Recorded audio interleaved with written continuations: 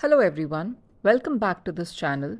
Today in the series of digital documentation, we'll be discussing the second chapter of this unit which is working with images. So when we are creating a document, we generally include some kind of graphics in those documents to give a better understanding or to make our document visually more appealing. Plus, whenever you see an image, that retains in your brain for longer than any textual content. Now, how can we define images? Images are these digital pictures which can be represented in the form of pixels. Now, these pixels can have values from 0 to 255 and these are stored in the various formats like it can be a JPG file, PNG file, BMP file or GIF files. Now in LibreOffice Writer, we have four ways of inserting images.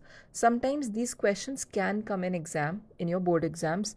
They can ask you the various ways through which you can insert an image.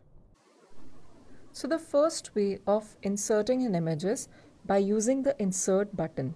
You can locate this button on top and come to image option. It is going to open this dialog box from where you have to select the image that you want to insert and you can simply see the image getting inserted in your document. The second method is drag and drop. So what you have to do, you have to locate your image and drag this to your writer document. And afterwards you can do whatever you want to, you can place it wherever you wish to. The next method is using the copy paste method.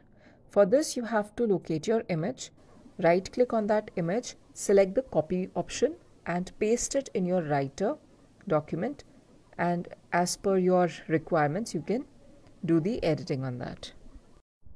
The fourth way is by creating links to the image. What we'll do here is that we'll be creating only a reference to that image.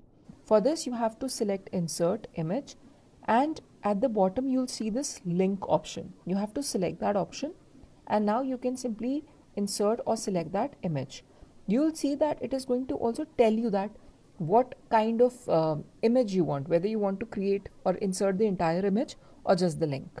So this reduces the size of the document as it is only inserting the link here. Now we have seen the various ways through which we can insert an image. Let us now move ahead with the next topic which is the image toolbar. How do we modify the image? So there is this toolbar which is present in the view tab under toolbars. Here you can see the various options through which you can actually modify your image. Modification like you can add some filters, some kind of modes you can change. You can flip your images, crop your images. All of those will be present on this toolbar. Maybe you want to change the RGB level, okay so all of those things will be here. So step by step we'll see each one of them. And these topics are very important from the exam point of view. Some questions can be framed. Like in mcqs you can get some questions or otherwise also it plays a very important role. So in your book wherever these topics are mentioned please read or learn every word of this page so firstly, let us understand the graphics filters. We are having 11 filters here. Each of them are unique in their own ways. So we will see them practically once. So this is the drawing toolbar. Here you'll find the graphics filter. First is invert. So invert is going to invert the colors. Second is smooth.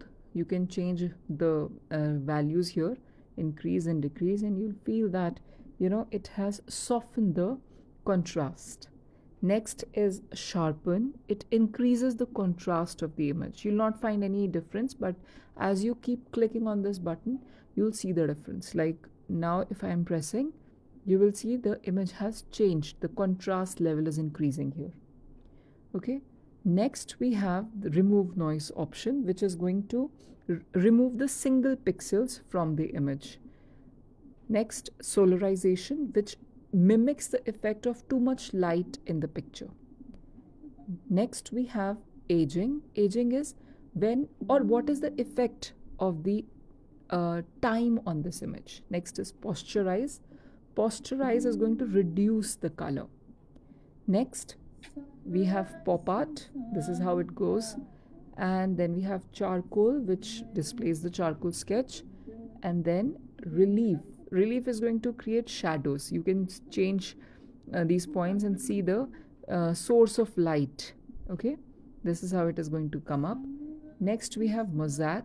Mosaic is going to join the adjacent pixels. So group them together and you can see the difference. Okay? It's it is joining into one single color. Now here is the summary of all these tools along with their effects on the image you can take a screenshot of this or you can learn this using your book also let us now understand the graphics mode so we are having three graphics mode here one is grayscale black and white and watermark so one by one we can see this. Practically grayscale is going to turn your image into a gray or shades of gray I'll say. Black and white is black and white image and watermark is it's going to give more transparency to your image.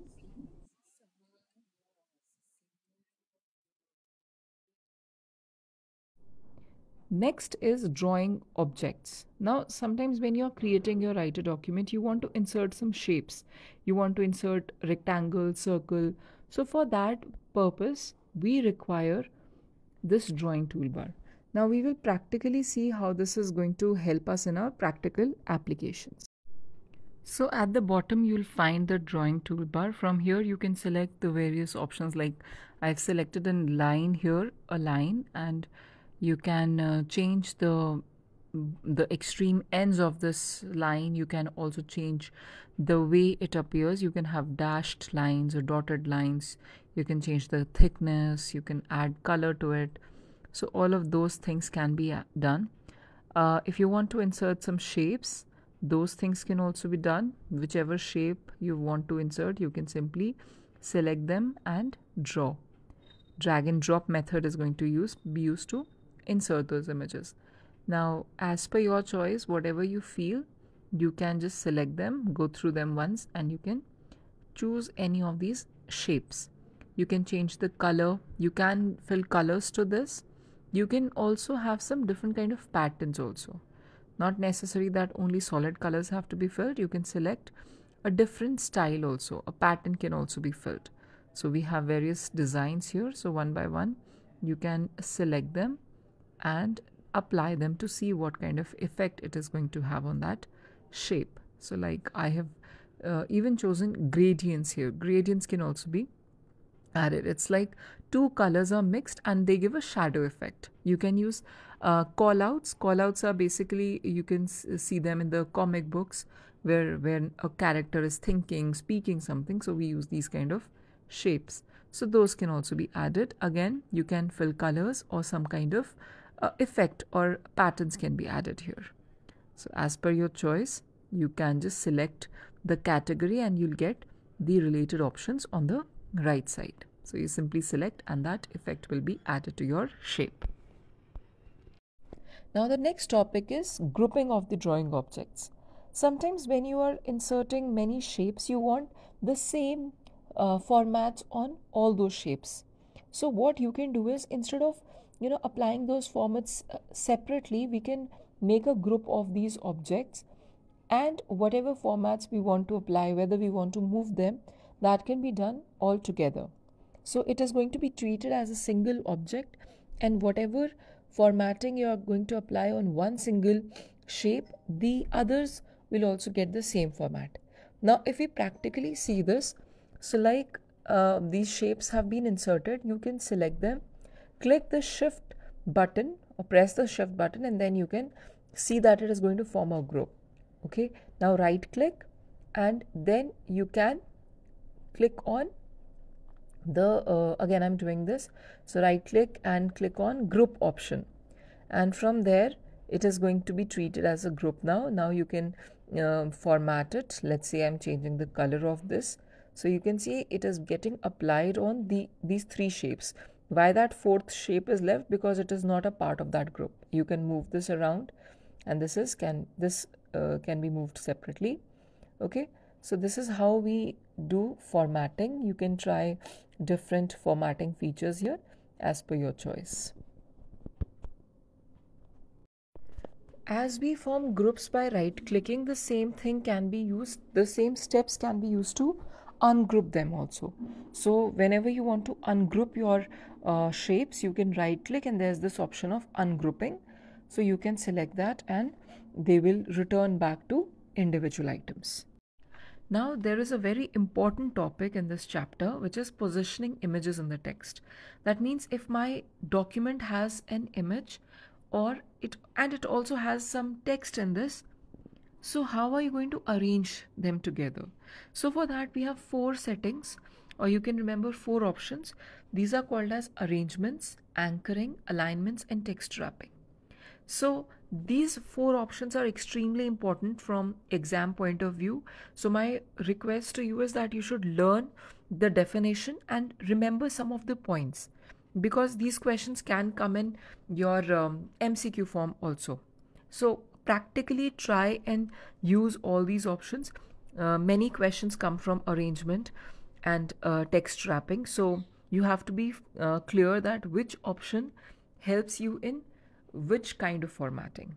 Okay, so remember and learn these points. So one by one, we'll see these. Let's say the first one is arrangement. So I've inserted few shapes here. I am uh, coloring the first shape with some other color so that it is easier for you to understand and relate.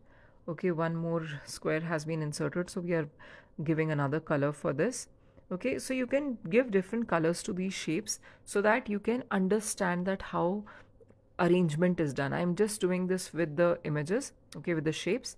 So now what you have to do right click and there is this option of arrange. Now i'm clicking on the first shape and sending it to back. So you can see the difference now that it is stacked behind every shape. Then back one is going to move the uh, shape back once back okay then you can arrange various shapes according to the options which is given.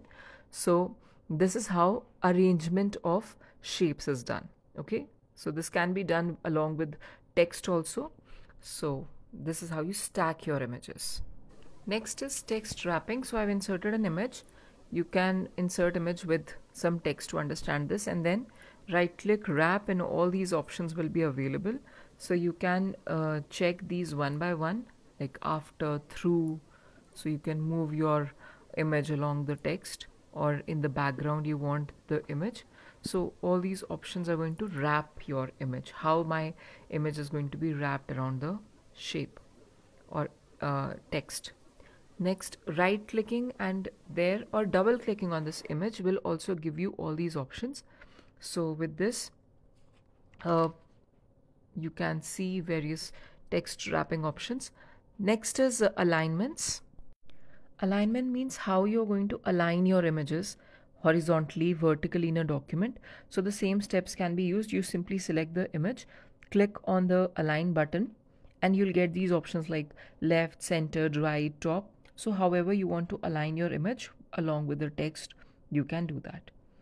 Last one here is anchoring. Anchoring is that the image, whenever you insert an image, you'll see an anchor, a small anchor on top. This is going to help you position the image. Okay, so we have four options here. One is to the page, you can anchor, you can set your image to the page, to paragraph, to character as character. So this uh, definition, these definitions are important and you should remember the options related to it. With this, we complete the second chapter of digital documentation that is working with images. If you have any doubts, any queries, you can write them in the comment section and I would definitely be replying them. So thank you everyone for supporting and watching till the end. Thank you so much.